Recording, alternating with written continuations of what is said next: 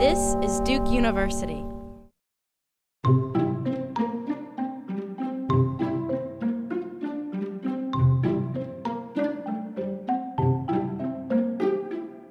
For me, the biggest lesson is humility. We do lots of experiments, and very often we find that we're wrong. Which of these two towers of Pisa look like they're leaning more to the right?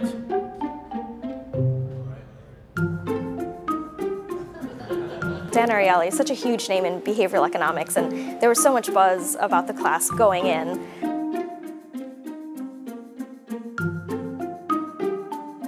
I believe fresh new ideas can really help solve a city's problems.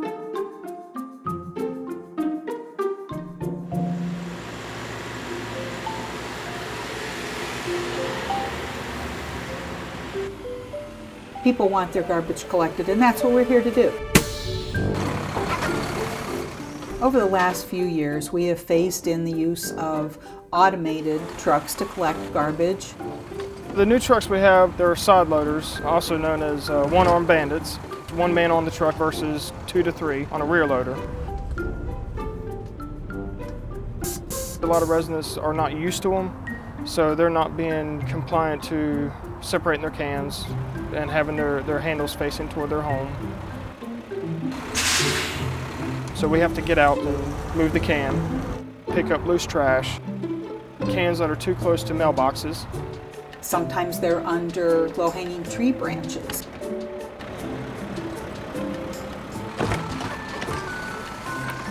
Sometimes cars are blocking.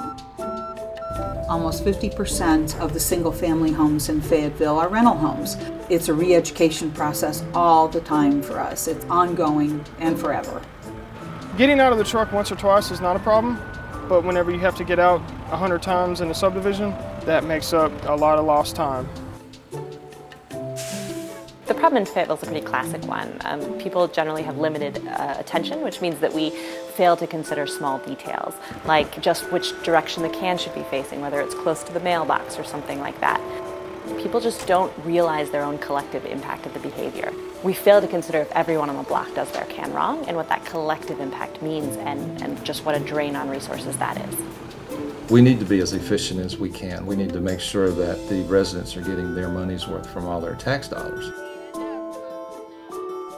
we were given the opportunity to work with students at Duke University in a partnership that would give them some practical experience and give us some behavioral expertise. Often a lot of what we do is theoretical classroom work and we're writing papers, but actually being able to work with a client and being able to help them solve a problem that was really important to them I loved the whole process of bouncing ideas off of them and, and really getting to a successful solution. We tested two interventions in Fayetteville. The first was a personalized letter that was addressed to the resident from the trash collector, and the second was a sticker that went on the trash bin that displayed some of the rules about trash collection.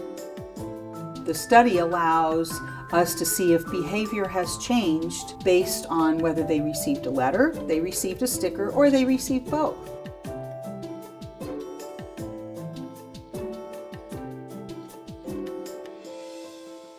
We found that stickers alone were really helpful in increasing compliance with the trash collection rules.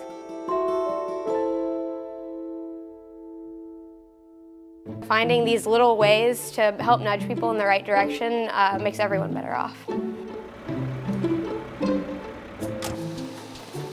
We're really happy that you know, we, we got to give them that solution. We saw something that actually worked. Inserting that innovation in and using behavioral economics to solve this problem was, was very interesting.